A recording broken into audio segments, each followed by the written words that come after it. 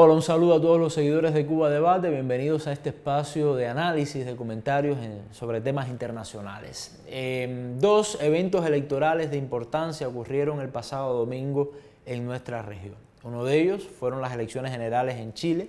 Yo les propongo más adelante dedicarle un, espacio a este evento político que mostró un mapa muy interesante eh, en lo político, por supuesto, de lo que está pasando en ese país sudamericano. Y el otro evento electoral fueron las elecciones regionales en Venezuela.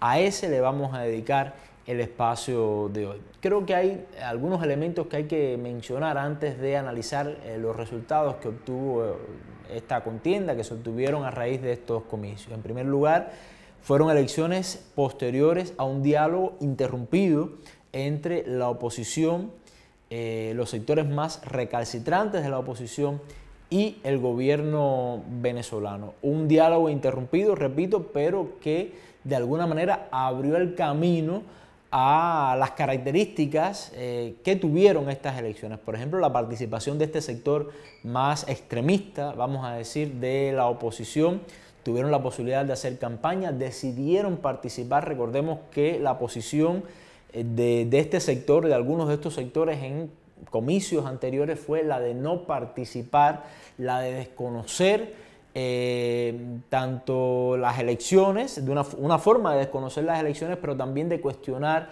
la labor del Consejo Nacional Electoral, a pesar de que eh, se ha dicho, incluso por eh, personas, instituciones que nada tienen que ver con los simpatizantes del chavismo, de que las elecciones en Venezuela cuentan con todas las garantías, que es uno de los sistemas electorales más fiables del mundo, aunque se tratara, se tratara del mismo Consejo Nacional Electoral que les dio importantes victorias parlamentarias y también regionales a esta oposición, pero bueno, ese era el modus operandi, eh, sobre todo en los últimos años. Bueno, decidieron participar, las elecciones también contaron con eh, veedores internacionales, eh, vamos a decir, muchos más diversos, por ejemplo, de la Unión Europea, que ya sabemos las posiciones fuertes que eh, sostuvo contra el gobierno de Venezuela, sobre todo en esta etapa de la autoproclamación de Juan Guaidó.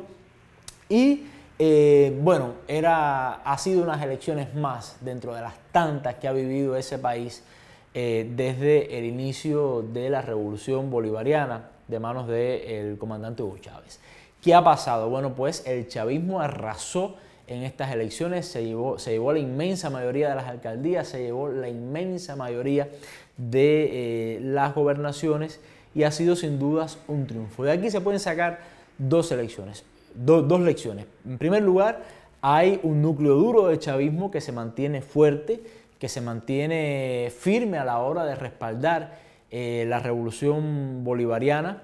Estamos hablando de unas elecciones que tuvieron, no llegaron al 50% de participación, pero que es un índice habitual en este tipo de elecciones. No eran elecciones presidenciales, que son las que por lo general tienen más nivel de, participación, es decir, está en, los índices, en, las estadísticas habituales para este tipo de, eh, de comicios. Es decir, hay un núcleo duro que sigue respaldando a la revolución eh, bolivariana. Es coherente el resultado de estas elecciones con los resultados que han tenido las elecciones eh, históricamente de una posición mayoritaria del Partido Socialista Unido de Venezuela, del llamado polo patriótico en algunas ocasiones también, es decir, de todas aquellas fuerzas políticas que apoyan al gobierno. Pero lo más interesante es el castigo que sufrió la oposición, una oposición que siempre se ha mostrado como la representante del pueblo venezolano, como la portadora de esos deseos y de esas aspiraciones, fue sumamente castigada. Y muchos analistas apuntan a que ese castigo se debe a su falta de unidad, a su falta de coherencia, a las posiciones, vamos a decir, antipatrióticas que eh, a todas luces han tenido durante los últimos años y también a ese desprestigio que ha ido creciendo a esa desconfianza, a esa traición que sienten incluso las bases opositoras, las bases sociales opositoras con respecto a esta fuerza. Esos son los dos resultados y vamos a decir las dos grandes conclusiones que hacen los analistas. Lo que queda por delante es ver detrás de estas, eh, estas elecciones, tras estos resultados, cuál va a ser la posición de eh, actores internacionales, por ejemplo, como Estados Unidos. Ya hemos visto algunas declaraciones desconociendo, calificando como farsa estas elecciones. No es lo que dicen los veedores, no es lo que dicen los, observadores internacionales, incluso que eh, de, de países o de instituciones que son aliadas a Estados Unidos. Indiscutiblemente hay un último resultado y es que a Estados Unidos se le ha complicado mucho más eh, la estrategia para mantener su posición respecto a Venezuela después de estos resultados.